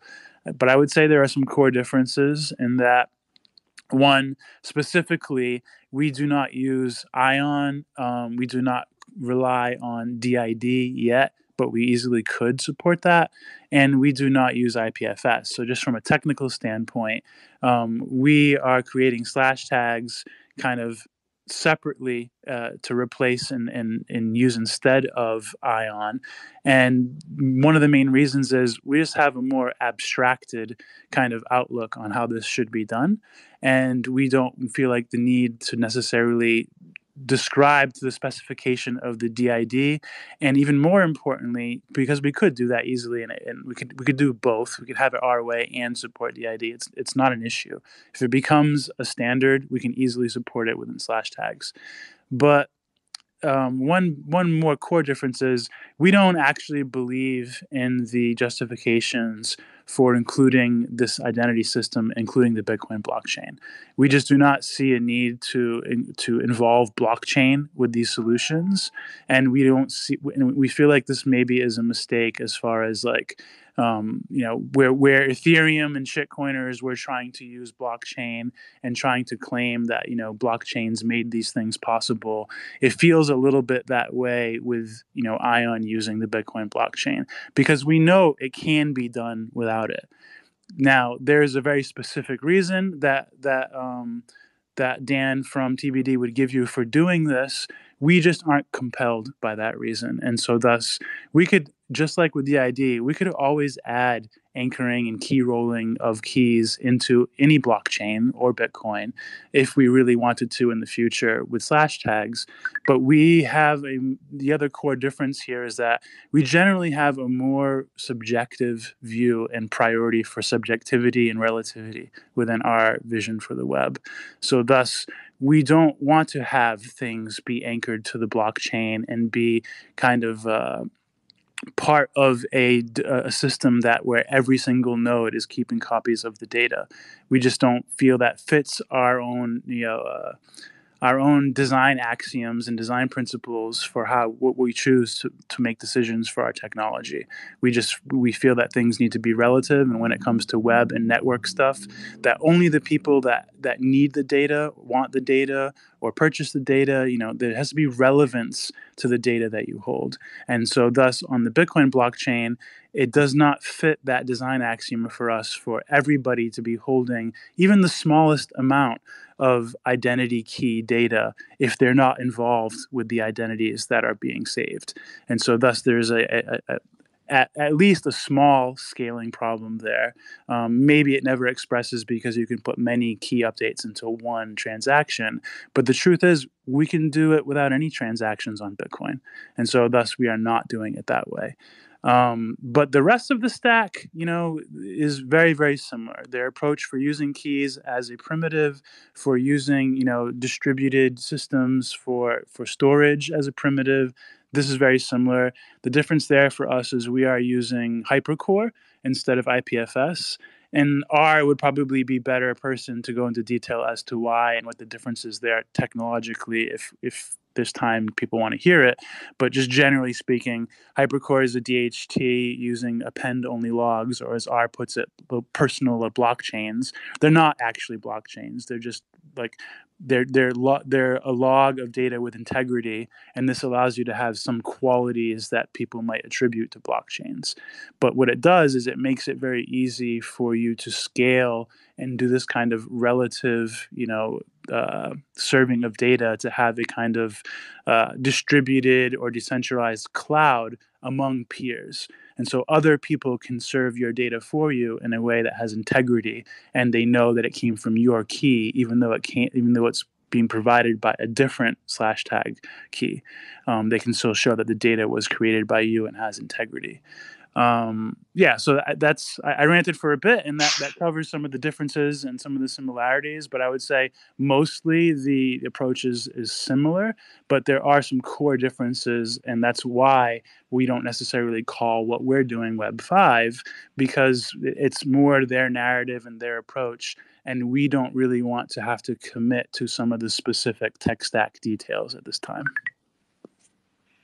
Uh, I just uh, I just want to say that um, really we try to in slash tags build stuff as as simple as possible and only add features, especially complex features, when we are really convinced that we need it. So one of the two main uh, differences between slash tags and Ion is that Ion is embracing uh, key revocation uh, from a very fundamental uh, level, uh, we're still not convinced that this is uh, a, a, use case that we need to support from the get-go because we're, we're not sure yet that uh, people are going to trust uh, revoked keys and re- rotated keys uh, while trusting that the master key itself is not um,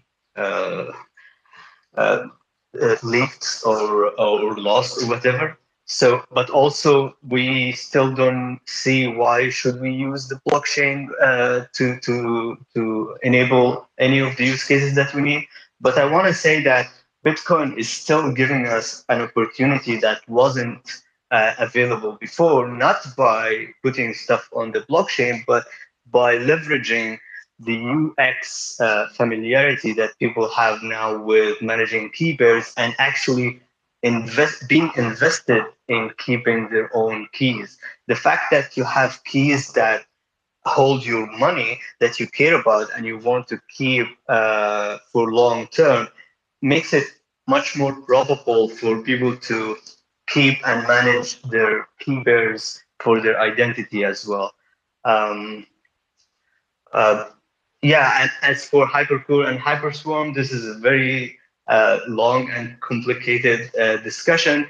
But uh, just basically, the reason I personally prefer Hyperswarm than libp2p because it's it's uh, hole punching story. I'm just talking to developers now. If any developers are interested in the tech stack choice, the hole punching in Hyperswarm is just much better and much easier than libp2p. libp2p might uh, evolve in the future and enhance on that. But right now, Hyperswarm is just much easier to do hole punching. And if you don't understand what hole punching is, it just basically means that you can make a DHT query and connection even if you are in a home network that has that needs NAT traversal, etc., etc.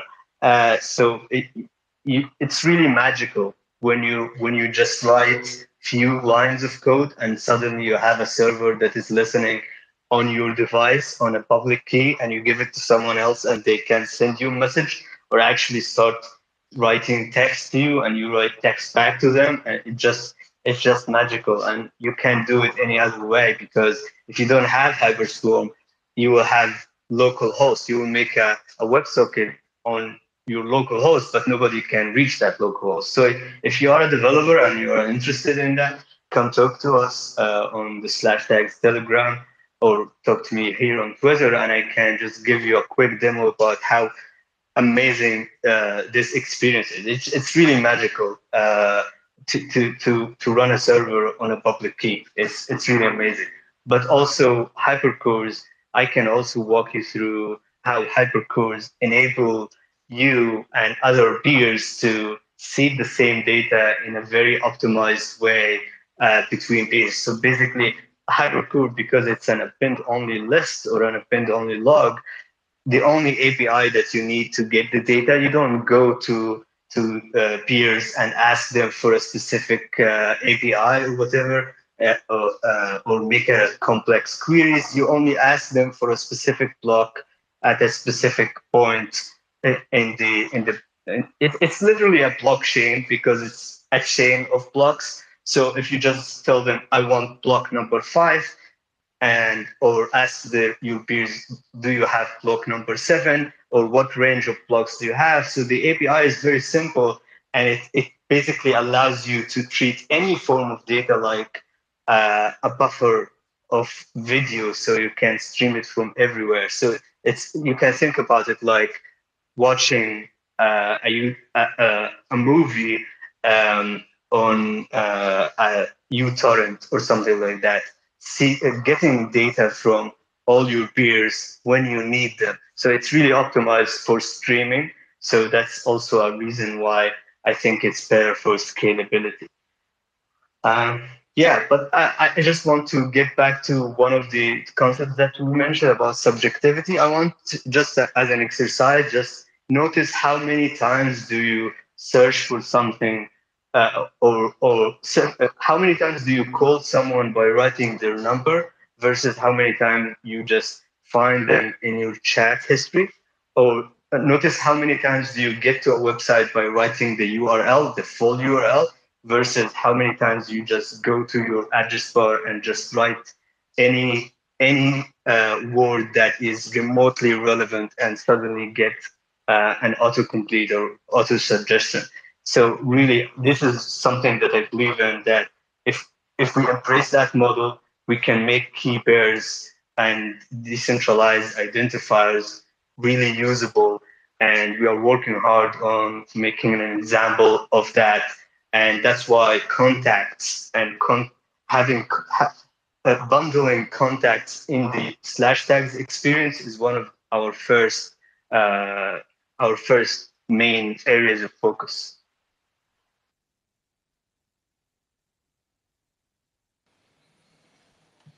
Okay, so a high level picture, John. Um, so the team is working on something called the atomic economy concept and a project which kind of we went into great details already slash tags so where does synonym stand in all of this web one two three stuff what's the where where does slash tags and synonym fit in?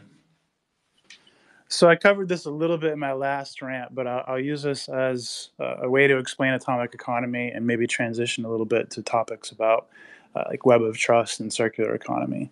Um, atomic economy is kind of like our web 5 uh, we, we, we didn't intend it that way. What we were trying to do is just give an overview uh, ha- have some kind of concept that explained everything that we're doing as a company um, so it involves you know the things we're building for bitcoin the applications we're building the products you know the publishing platform and other things we're building the uh, the the LSP for Lightning connectivity that we're building, the slash tags protocol, the wallet, etc. It includes this whole concept of that we're trying to model what the internet and the the kind of social economy would be like if Bitcoin were winning and if it did win and we had this post hyper bitcoinization you know environment you know what how would things actually work? You know we, we killed big tech we killed big government we killed big big banks like what did we replace them with?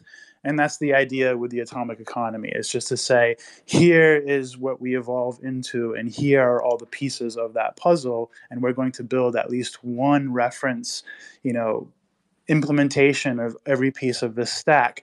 So when Bitcoiners and the world are, is ready, they will have at least the stack as an option. And hopefully we are right and we will be right there, you know, we'll be building along with all the people entering, you know, hyper Bitcoinization and they'll have the tools that they're looking for.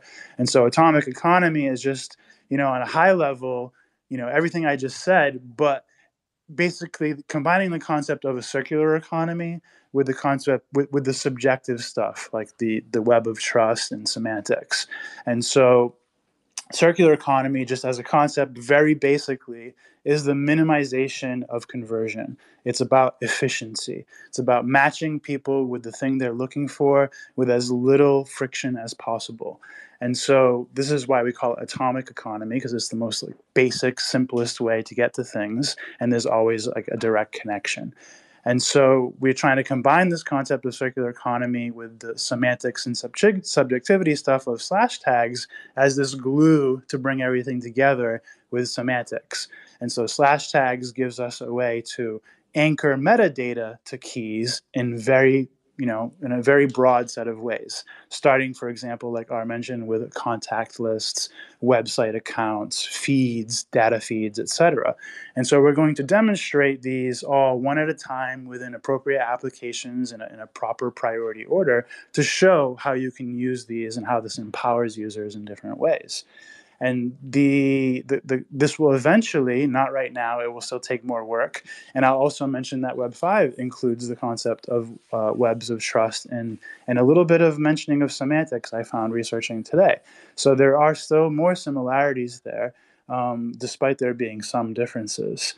And web of trust is basically taking the same concept of a schema and schematics i mean a schema and semantics and putting a weighting to it and having that weighting be sub, both subjective and also a way to have this like a, a, a trust distance. In other words uh, you have a, a, sort of transitive weighting that you can apply where you can say okay if i trust Grokchain uh, with his movie reviews that means we're both using the same schema for metadata about movies, and we are making attestations using our keys about these movies. And when he provides a rating about a movie, I think it's usually a pretty good rating. And so when I am like looking for movies that are, that I want to watch or looking for ratings about movies, I'm going to weight his data higher than other people's data. And if I choose, I may also weight the data of the people he prefers a little bit as well. And so I'll, I'll, give them some extra some, some points or some trust because I trust him, even though maybe I've never met them before and I don't know and I've never reviewed their data before. I might use this as a way of extending or branching out kind of like the concept of like seven degrees of separation. It's like using this uh, this relativity to uh, to apply a weighting so I can find what I'm looking for. It basically is a way of having like multiple schemas represented as you know uh, a weighting system and it puts it makes the users the google search algorithm so instead of like trusting a centralized server each user is defining their own rule sets and their own weightings, and they're meeting mutually on the, the things that, that overlap.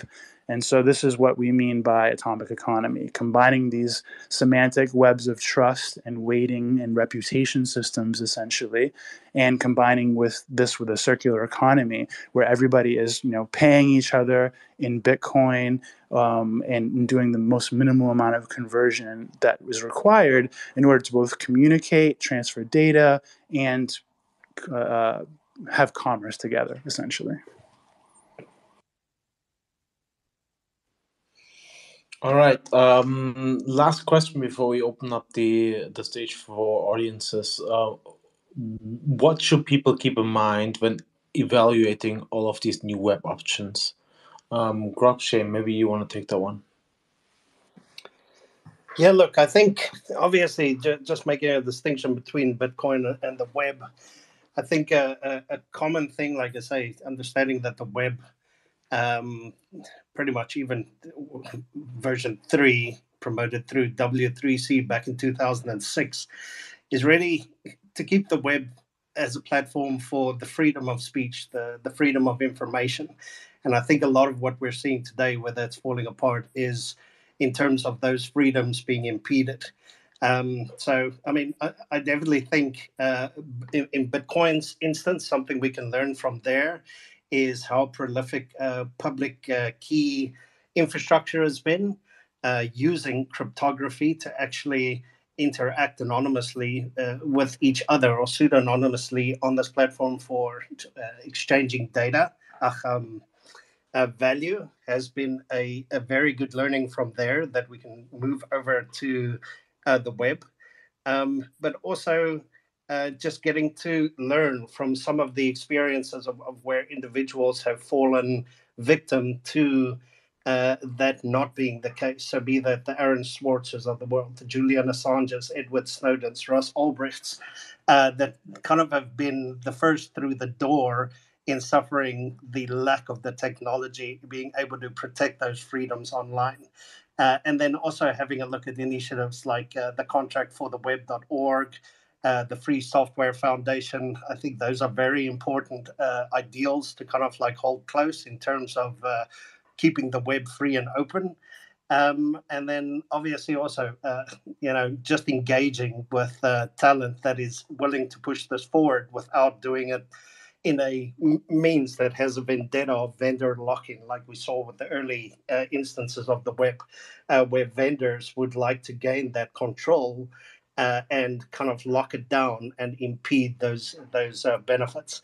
And definitely, in my experience, anyone who's promoting a future version of the web that's going to be driven by a token, I think, is uh, a bit deceptive in nature, um, and that you can more than likely get away with not doing that. Um, you can rather just focus on the public key cryptography side of it. Uh, there doesn't really need to be a token involved uh, to manage the incentives. And if there were to be, Bitcoin probably already does that for us.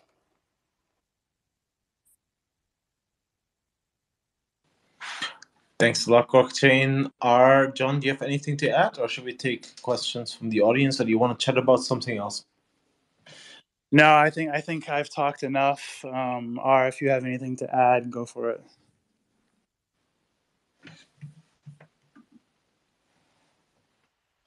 No, same.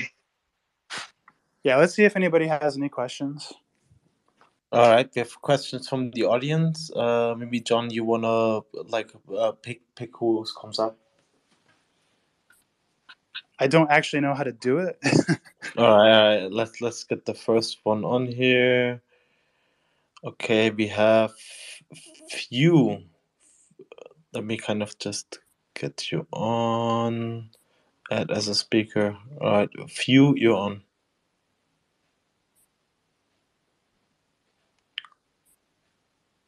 Few, what's your question? Yeah, hey, uh, what was that project that uh, R was talking about? Uh, the hype was it Hypercore? Yeah, Hypercore. Hypercore is a project. It's kind of like similar to BitTorrent, but it is you know a, a more, more maybe maybe more modernized and more intentional for decentralized web use cases. But yeah, you you can if you search Google for Hypercore, you'll find the, the main website. It's an open source project, and there's tons of utilities and and you know GitHub repos and modules for it that you can play with. Cool. Alternatively, I will mention part of what we're doing with our work with slash tags is actually making it very easy to use hypercore for the use cases related to key pairs. And so you could actually potentially start from our slash tags repo in github if you wanted to play with the things related to this conversation with hypercore. Yeah i would say the same. Uh, we built something called slash tags sdk which basically tries to uh, bundle everything that we need from Hypercore and Hyperswarm, but make it uh, a bit easier and more documented and with a bit of type definitions to make it easier for developers to pick up and use without having to be very experienced in Hypercore and Hyperswarm.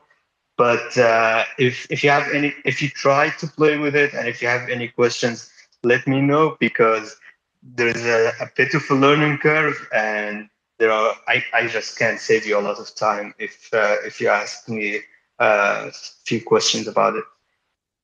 Yeah, I'll echo that and add that um, you know the the SDK is not formally launched yet. It is we, we have been working in public for the most part with slash tag stuff, so you can kind of watch R as he works and, and the rest of the guys as we implement.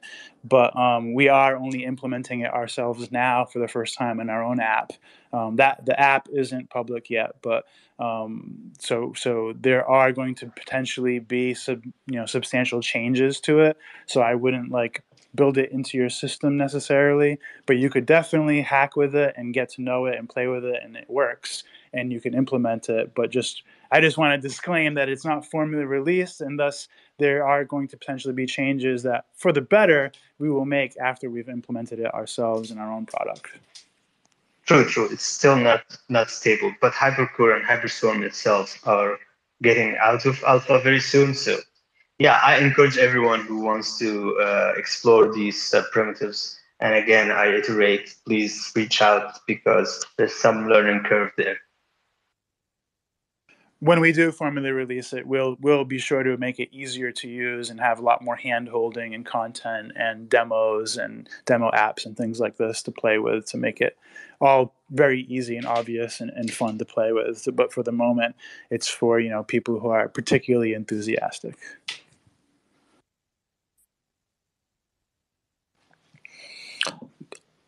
Thank you, Phil. Um, do we, do we, do we have more questions from anybody? Please raise your hands if you have questions.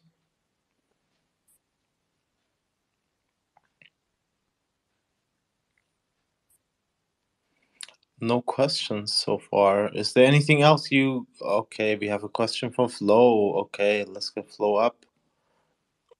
Add him as a speaker. Yeah. Flo's connecting right now. Hey. Flo, the stage hey, is yours. cool. Uh, just wondering what your thoughts are on uh, this thing called unstoppable domains. Just curious what you guys think about that. So I'm going to make some assumptions here because I haven't researched it fully specifically. I'm sure I looked at it at some point, but all of these domains that you know, if you um, can can parse a lot of what we were saying today, part of what you can infer from a lot of what we're talking about is the concept of owning a domain name after this next web becomes popularized, regardless of who popularizes it. It's kind of dead. Um, this this idea that you can own a unique name is only provided by an authority. That means that there has to be somebody else who decides who owns the names. And so this concept of unstoppable domains, it's kind of I'm going to assume a lie, um, and maybe part of this the, the theme of Web of Lies here. Much like you know, .btc domains from block from stacks are a lie. .eth domains are a lie. Like the only way you can have a limited namespace is if you have some sort of authority governing that namespace. And that isn't even useful when you consider if everything can be represented by a pub key. Now, the metadata can be something either you decide or they attest to, or you could even have it be like, for example, I could say, I believe that this key is google.com. And then my friends ask me, where is google.com? And I say, it's this key. And they say, okay, but somebody told me that google.com is this other key and then you could just decide which which key is google.com based off of who you trust the most. And that's kind of what's already happening. It's just that everybody is converging to trust one major domain registrar. But when you use something like these stacks.btc, .btc domains which i assume is going to be similar to how unstoppable domains works what you're actually doing is you're installing some middleware that that basically tells your web browser where to go to a normal IP address, a normal server, when you type in a domain name. It basically intercepts the info and sends you to the right place. So it overrides your browser's typical DNS, you know, behavior, and it uses their own sort of side DNS system. And so the only enforcement there is going to be from whoever that authority is that's making that application middleware that's telling your browser where to go. And if you ask, if like you buy, say, for example, a .btc domain or .ens or .eth, and you tell your mom to go to your website, nothing will happen because she doesn't have that middleware and it, then she's not asking the same DNS provider for the location of that server. And so the difference with what we're trying to do with using key pairs is that it doesn't matter, you know, uh, what the domain name is. What matters who owns that key. And when you're searching for something, what you're actually searching for is data about a key. I hope I hope that all that makes sense. Yeah. So would you be putting it into from what you're doing? Would you just put uh, that into one of those keys into the web browser as though you would just type in a website, or how you well, know, this is, so yes and no. The, the issue here is if you wanted it to work in your current web browser, your web browser you either need middleware like they're doing, or you but the but in this case the middleware is not pointing to an authority; it's pointing to a public network, and so thus there is no there's nobody that can own a domain name, but you can own a key because it's unique, and you can prove it's unique, and that only you have it because you can sign with it. Um, but you still need browsers that are compatible with it if you want it to work in a web browser. But what you could do, for example, is you could have uh, a phone app, say, where you store your keys, like your slash tags, for example, and your phone app can store only the keys. And you could say, okay, um, this is bitfinex.com's key. And then when you tap on that key, when you tap on that account, what it will do is it will it will look at the DHT and it will ask where is Bitfinex's server, and then it will take you to that website using a normal web browser without ever having to actually use the domain name itself necessarily. Um, you would probably still just use the URL the domain name because they currently is the convention, but you could also just send them directly to the server IP. Um, so I, I hope that makes sense. Yeah, totally. Thanks for answering. Yeah, I'll maybe yeah, I, I, also add on to that, John. I think uh, for anyone who's familiar w- with like ICANN's internet, um, DNS today is obviously managed through a handful of root servers that bubble down to these uh, kind of separate network entities. And uh, essentially, the unstoppable domains guys uh, have gone the route of not actually registering as a typical registrar, but are trying to manage a record of domains on a blockchain system itself and then write their own separate resolver, uh, as John indicated, for which you might need a plugin so that uh, typical DNS queries with any tools you use would go through the ICANN chain of root servers, etc., to do the resolution. Uh, and their extension, for example, would also uh, then do an additional search on their registry. But essentially, all those uh, initiatives do is they try to establish another registry or central point at which uh, uh, uh, kind of like these mappings get get managed. Um, and I did a bit of an experiment, I think, about two weeks ago, uh, where if you're familiar, let's say, with the Bitcoin network, every Bitcoin node that gets fired up on the network also has kind of a user agent string that it can expose this is typically configured in your bitcoin.conf file as the UA comment field, I believe. So if you talk to a Bitcoin node, uh, you can actually, during the initial handshake with that node, uh, obtain that user agent string. Uh, which means that if you troll the peer-to-peer network through the, the gossip of how you actually find Bitcoin uh, nodes on the network to converse with, you can build up a registry on your own local machine that has a mapping of these user agent strings to the public IP or onion routed address, uh, which means you can essentially kind of like it's like deriving DNS to an extent. And I did an experiment, actually got a, a server up and running where you can find anyone's Bitcoin node purely just by knowing what that user agent string is.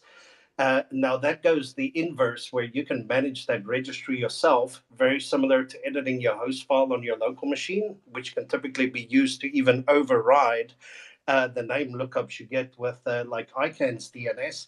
Uh, but the idea is, uh, like like John even says, is can you get it to a point where resolution is being done without depending on a central authority actually managing that registry?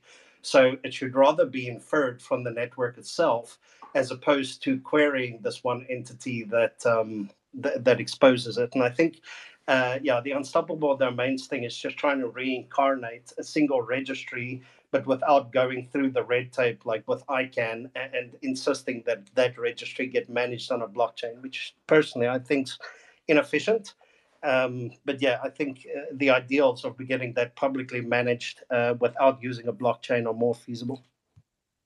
I, I just want to say if if if you or but you you have to know that domain somewhere, right? You can't just wake up in the morning and find a, a domain from from your mind. You have to see the domain somewhere first. So you either going to find it on a search engine or you're gonna hear about it from someone else or the owner of the domain are, uh, you're gonna tell you hey uh, add my RSS feed. Here's my domain name, or uh, follow me on Twitter or something like that. So if you obtained that domain, then then think about if you obtain the public key, just put it on your contact book. Just uh, augment your web browser with that contact list that you have.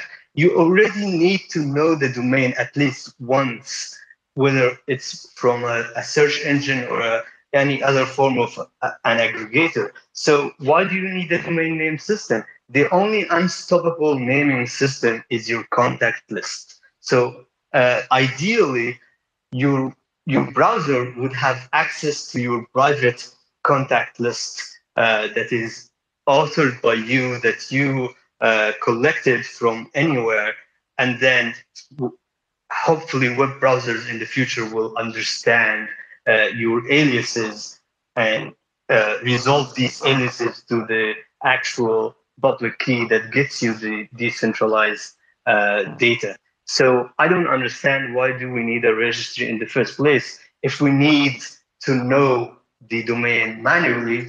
So why not just know the key and then alias it and keep our own list of uh, names to keys registry.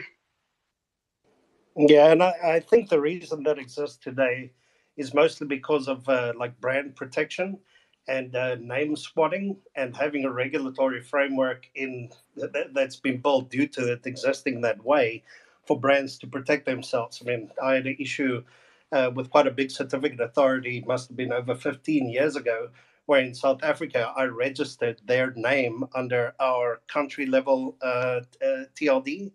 And uh, they literally got bullied out of it because, well, they weren't registered here in, in South Africa.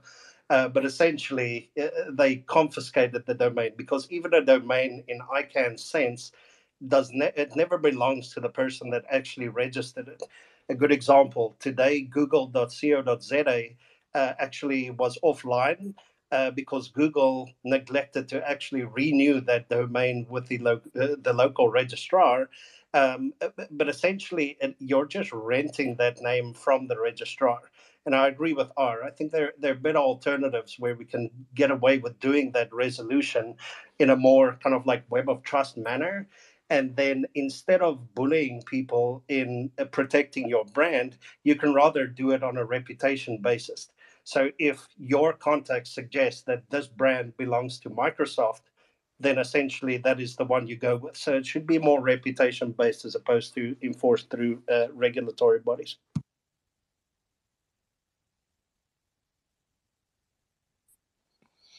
Awesome. So we going two hours strong, and I just want to close it here and kind of like, please, uh, John Ar. Grokchain, kind of like, please close it off. Tell people where they can find you, how they can contact you if, if they just kind of want to take some conversations offline.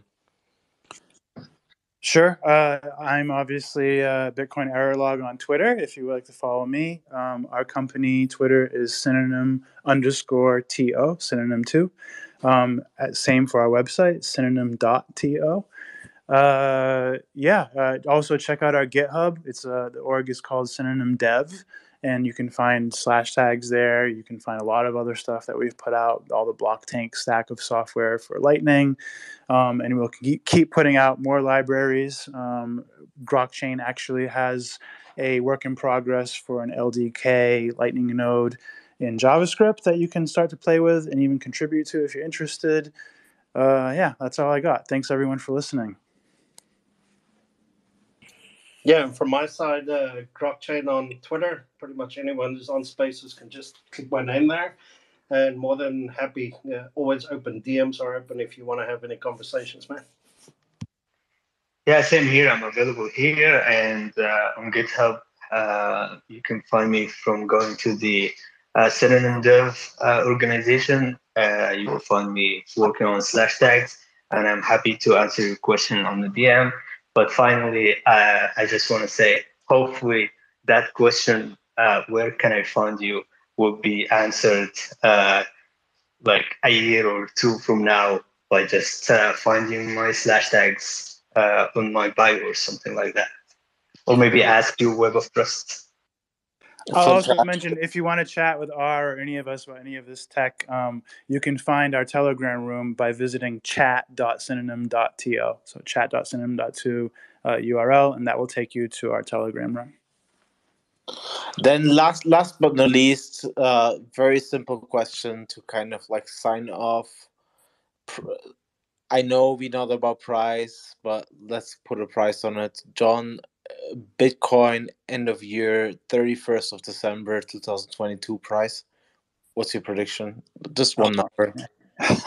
uh 69k. Okay, Ar, what's what's your number? Uh, 15k. 15. oh my god, we got some bears here. Grokchain, uh, what what's the number? Thirty first of December, two thousand twenty two, Bitcoin price. Yeah, I measure my time in Bitcoin. My time's priceless, so that's my price, man. All right, that's the answer we were looking for.